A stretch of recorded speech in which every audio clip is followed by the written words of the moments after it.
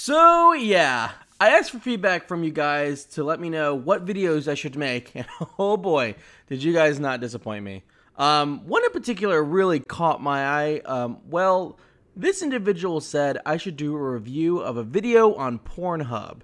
If I need to explain what kind of website that is, then something's wrong with you.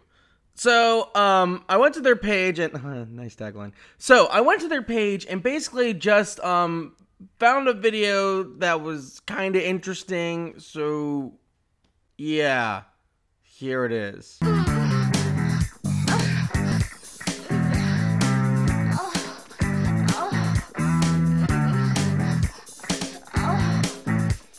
Okay, you know what? I'm just gonna get this over with. I'm gonna give this other video a 3 out of 5 blurs, okay? And I'm just feeling uncomfortable and I just wanna get this over with. See you guys next time.